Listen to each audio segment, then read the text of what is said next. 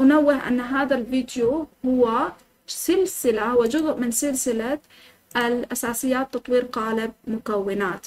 وهذه السلسلة آه، طبعا للذي يحب يمكن أن يتابعها على البث المباشر. أيضا الذي يحب يمكن أن يتابع سلسلة التسجيل فربما أنت الآن تتابع السلسلة المعدلة الموجودة على الموقع الموجودة على آه، قناة الشروحات أو قناة الدروس الرئيسية فالتي هي Learn with Now.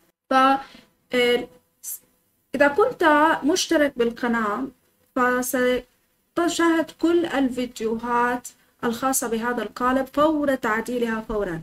إذا لم تكن مشترك بالقناة فستشاهد هذه الفيديوهات أيضا لكن ستشاهدها ليس بسرعة ستشاهد فيديوهين بالأسبوع الواحد يعني كل سبت وأربعاء سيكون هنالك فيديو حول قالب مكونات ووردبريس. فكل الأشياء التي أنا شرحتها الآن كلها موجودة بهذه السلسلة اسمها أساسيات تطوير قالب مكونات للمبتدئين.